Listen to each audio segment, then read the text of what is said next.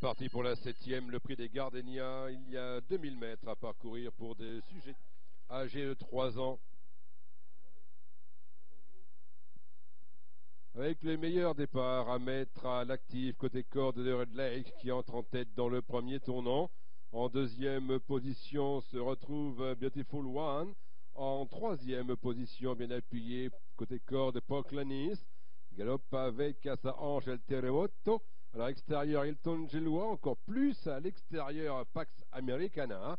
En avant-dernière position, à quelques longueurs des six autres, se retrouve ensuite Amaro Pargo. En toute dernière position, Dorian.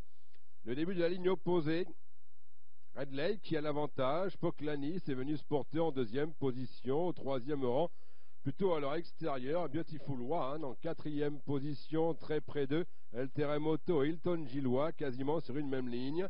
Sont poursuivis ensuite par Pax Americana. En avant-dernière position, Amaro Pargo. Au dernier rang, mais se rapprochant maintenant d'Orient. Sont quasiment rendus au bout de la ligne opposée. Poclanis bien appuyé côté corde, à sa hauteur Red Lake. En troisième position, Hilton Gillois, devant encore Alteremoto qui galope en dedans. À son extérieur, Beautiful One, Pax Americana. Toujours en avant-dernière position, Amaro Pargo. Et en queue de peloton à deux longueurs des autres se retrouve Dorian. Le tournant final, Red Lake à l'extérieur, qui tend à vouloir prendre l'avantage sur Hilton Gillois et Poclanis.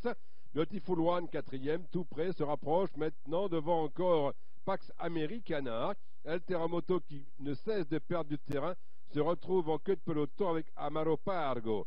Pour aborder l'ultime ligne droite, Beautiful One se retrouve aux prises avec Red Lake et Pax Americana. Hilton Gelois est là à leur hauteur ensuite en 4 ou 5e position.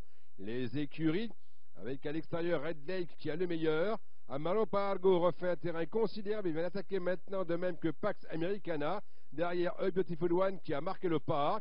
100 mètres du poteau. Pax Americana qui vient de prendre l'avantage tout le temps, penchant considérablement sur Amaro Pargo. En troisième position se trouve Red Lake.